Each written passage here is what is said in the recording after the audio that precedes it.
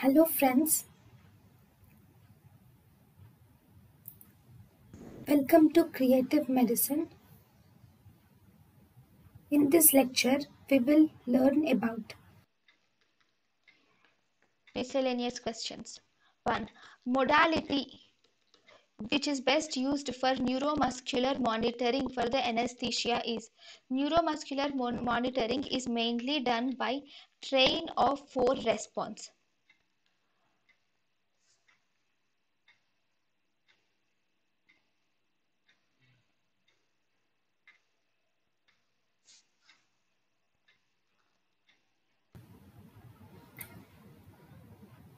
thank you and thank you for watching.